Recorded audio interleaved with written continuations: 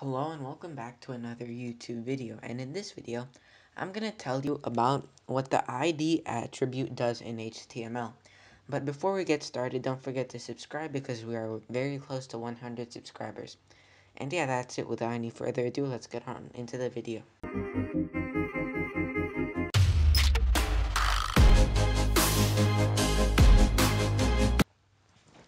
Okay so let me just make an H1 and I'll call this title and I'm gonna create a paragraph over here a p tag and I'll say just some stuff just some stuff. So that's it.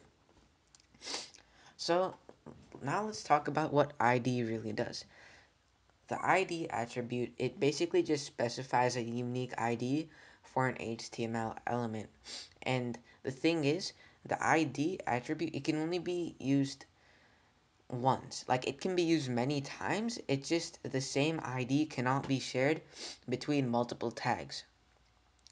And this really comes into play with CSS and JavaScript. But basically what it does is h1 I can do ID over here equals uh, quotations and right over here I can say header. And over here I can do ID equals P1, paragraph 1.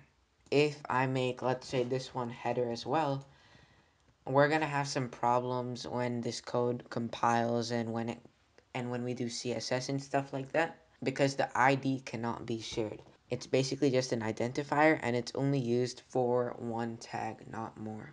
And here's just some notes about ID. The ID name is case sensitive, so lowercase header and uppercase header, these are two different IDs and the ID name must contain at least one character and it it's basically all the stuff in here it's basically normal variable convention you know? Uh, it can't start with a number it can't contain spaces tabs and all that.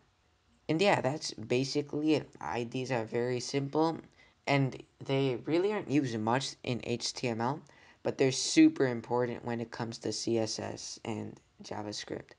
So yeah, thanks for watching this video guys. I hope you enjoyed. Don't forget to like and subscribe and I'll catch you next time. Peace.